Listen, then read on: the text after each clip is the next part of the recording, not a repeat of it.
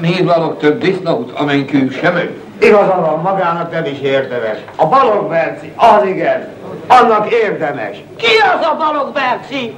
Hogy nekünk nem érdemes, neki meg igen. Senki se nevel szebb disznókat a faluban, mint az én uram.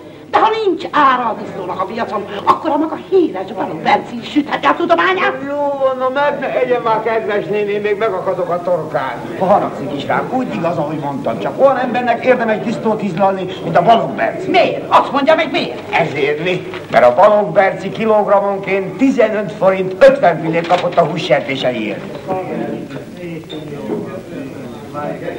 Na, hát mi csak 13 forintot kaptunk.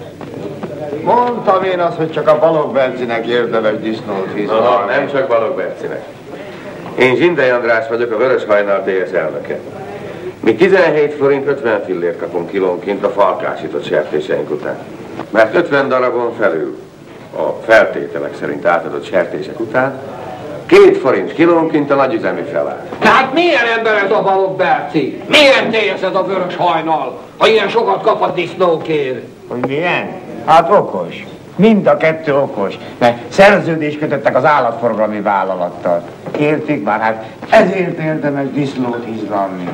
Már pedig a Balog Bercinek, meg a Vörös Hajnalnak érdemes, akkor érdemes minden egyes TS-nek, TS és érdemes nekünk becsületes gazdáknak is szerződést kötni. Így igaz, Mariska. Ha ma megkötheti, ne hagyja holnapra. Kössön hát szerződés disznóra, malacra. Meg is kötjük! Még ma!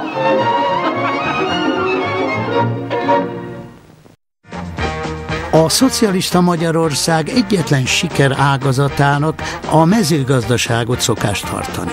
Az 1958-ban újraindult TSZ-esítési kampányban a gazdákat, akiket a polgári ízű kifejezést kerülve inkább parasztnak neveztek, meggyőzéssel igyekeztek a termelőszövetkezetekbe, vagyis a közösbe terelni. A mezőgazdaság gépesítése rendkívül lassan haladt. A hiányzó traktorokat és kombájnokat a versenyszellem fokozásával igyekeztek pótolni.